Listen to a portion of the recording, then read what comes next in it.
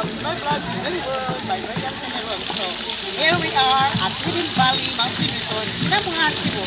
So, here we are. Ahon na itong busay natin eh. So, wapak ayo ni amo ang cameraman, si Christine.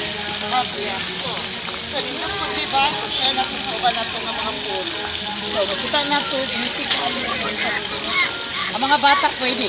Unyang alas 12, mo wave pool ni. So, waiter, bye-bye. See you after one hour.